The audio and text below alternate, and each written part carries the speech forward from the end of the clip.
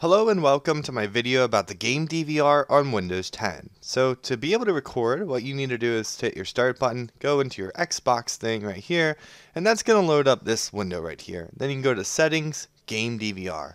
Now the game DVR will allow you to record your gameplay as well as do like it does on the console called record that, which will record the last so many minutes up to 10 minutes if you hit a button this is kind of good for those of you that actually record clips and stuff like that, but for me, I'm just going to manually set it to record, and it can record up to two hours. You can also then change, um, I don't think it lets you change where it saves it to, it'll be saving it to your Documents Videos folder, and then you can change the quality. The video quality can either be standard or high, and the video resolution can either be standard or high. I would say just try out high, see if your computer can handle it, if not, then go to standard, and then the audio, just make sure that you're recording the audio as well, and then change it to 192 kilobits per second. Now in order to record, you are going to have to keep this open, so minimize it. And then what we're going to do is we're going to head on over to our Steam. We're going to open up the game of my choice. For example, me, it's going to be World at War. And then here we are. Now, to open up this, you're going to have to press the Windows plus G button and you can open up this. If it doesn't let you record right away, you're going to have to do that. Once you do that though, it should let you record with the hotkey, which is Window Alt R. And as you can see, we're now recording our game right there on the top right hand corner. There's a little record button. Now, you're not supposed to see any noticeably dis uh, difference with this, like computer wise. It shouldn't affect with your computer really at all because it's using your graphics card. Now I am recording this, which is also recording this. Um, so there might be some FPS drop for it, mainly from the recorder that's actually recording my screen.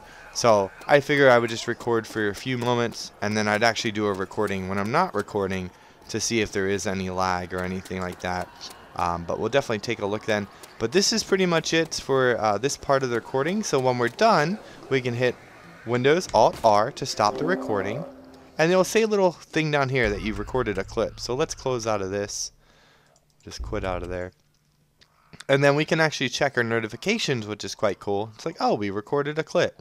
Here it is. So then you can either watch it in here, or you can actually open up the folder and then watch it in here. And here we go. Here's our video player. It's playing the clip we just recorded. Now it doesn't have my voice, obviously, because I cannot record my own mic, which should be an, an issue. It's a feature that should be added in the future, so hopefully they will. But there we go the quality doesn't look too bad. Um, hopefully this is still recording, uh, but the quality doesn't look that bad. So what I'll do then is I'll cut the video here, I'll jump into full quality uh, of the game itself, and then I'll set it to record in 1080p, and then I'll put that recording in the video so you can see the quality. So let me do that, and I'll see you guys in a moment. Alright, so I recorded a few moments of the video, and I'm going to right click and go to the properties just to show you what the quality is. So if we go into details, it's recording 1920 by 1080 at a data rate about 21 kilobits per second. So probably about 20, 21 megabytes per second. It's recording at 28 frames per second though, um, so about 30 FPS. There's no way to change it to 60 FPS, but for the most part, that's really good. Uh, the file size is also only 185 megabits per minute, um, that's really low uh, compared to what I'm used to. So it's quite nice. I'll, I'll, open it up and now I'll put it in the actual video and then we'll look at it together. So uh, as you can see here, there were a little bit issues on the video when I first started recording.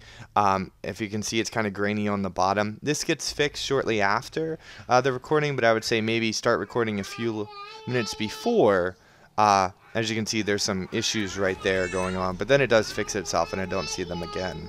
The only problem I did have though is the when I'm in full screen on World at War, the game bar and the recording little icon, those don't show up in game. I actually had no idea if or I was not recording. The only difference I saw is when I did start to record, my screen changed res uh, changed qual uh, not quality but like uh, lighting a little bit. Um, and that was the only difference I saw. There was nothing to indicate that, hey, you're recording by recording in full screen. I don't know if it's just the World at War or a full screen games in general, but there's no way to tell if you're recording. So pretty much just hit the record and hope. And then when I did Alt Tab from the full screen, uh, which normally you don't do if you're on full screen, but it did stop the recording as well. Um, so there's that as well. But pretty much the quality looks fantastic. Um, and hopefully you guys agree as well. But uh, yeah, the only downside, like I said, and what I would like to see improved is make it so we can change the quality ourselves to something higher than 20 megabits or whatever it is. Also make it so we can record our microphones on a separate track. Um, and then also that's pretty much it. For the most part, this records fantastic. I didn't notice any issues or lag or anything like that. And I'm actually really impressed with this. Um, would I use this over something like NVIDIA Shadowplay? Probably not but I only have AMD and I would definitely use this over Raptr. So hopefully they make it so we can get 60 FPS, change the quality, and allow us to record at least our microphone in a separate track. And this thing is going to be amazing and you would there would be no need for the other softwares.